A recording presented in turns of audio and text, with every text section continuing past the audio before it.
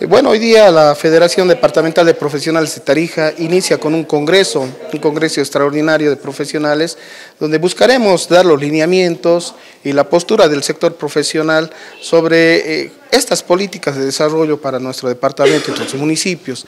En este encuentro participan todos los presidentes, principalmente eh, de cada, cada colegio, la Sociedad de Ingenieros de Bolivia y la Asociación de Mujeres Profesionales. Estos actores eh, darán su parecer eh, y de forma resolutiva el día de mañana tendremos los puntos que los haremos conocer a toda la población y principalmente a los administradores ¿no?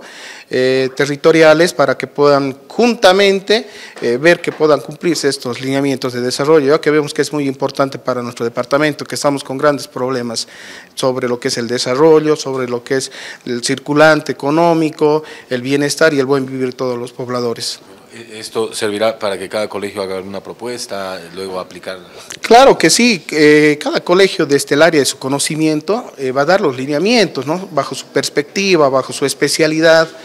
De, esto, de esta manera haremos un buen documento que creo que va a ser y tiene que ser bien recibido por nuestras autoridades a nivel departamental y municipal, ¿no? todos los, los municipios del departamento, porque esto es un trabajo para todos. ¿no? Sí, entonces por eso como universidad nos interesa bastante trabajar de manera coordinada con todas las instituciones, con todos los colegios de profesionales, porque somos los profesionales los que, los que tenemos la obligación de poder contribuir de esta manera y buscar las mejores alternativas de desarrollo. No van a ser otras personas las que van a hacer ese trabajo, somos nosotros los profesionales, porque para eso hemos sido capacitados.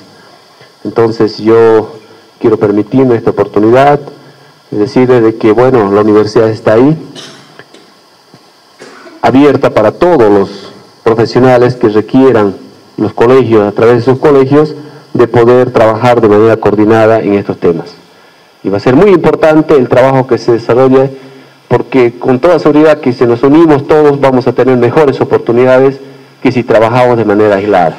Tanto los profesionales, las instituciones, organizaciones y todo, quienes podemos contribuir desde el sitio que estemos para poder desarrollarnos de mejor manera.